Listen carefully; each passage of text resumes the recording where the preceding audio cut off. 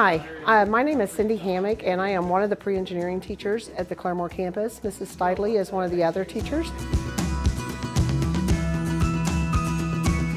We have an intro to engineering design where it's just all about learning the design process and learning how to use CAD software.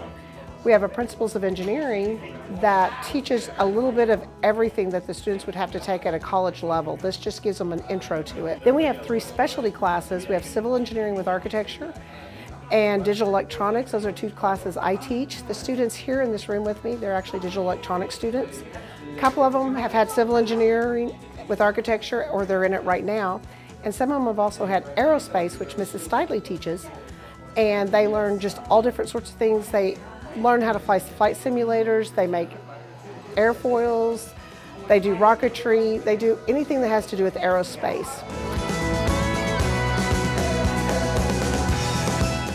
Here at Claremore High School, we allow them to start in ninth grade, but any of them from any other school, they start at 11th grade, and we have a schedule worked out for any of the Rogers County students that want to come in, so they can come in their junior year, take four of the classes, and then their senior year, they just come in and take two.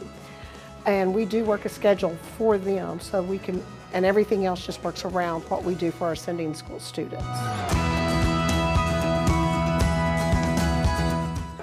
Influenced me to take the program is the fact that I've always had an interest in building things and figuring out how certain things work, so engineering seemed like a great track for me.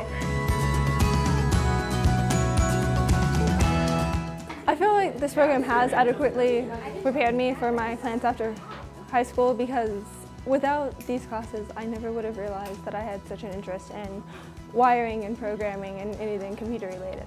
I think people need to realize that engineering is really important to every field. One person can take one degree in engineering like mechanical and do pretty much any job out there.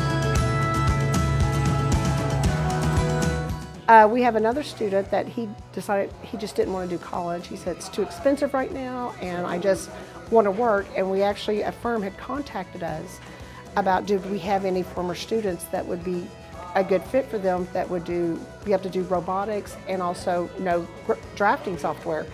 And so we hooked him up with that employer and he's been there about a year and a half now and they are actually paying him to go to TCC at night and they work with his schedule so that way he can still go on to be an engineer because that's what he wants to do.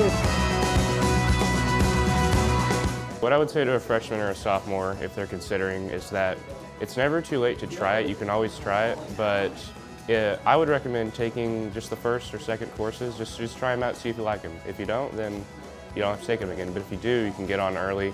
You can get, uh, you can get scholarships. You can get in the NHTC and it just opens up a world of possibilities. And I, you shouldn't limit yourself if you, if you don't want to.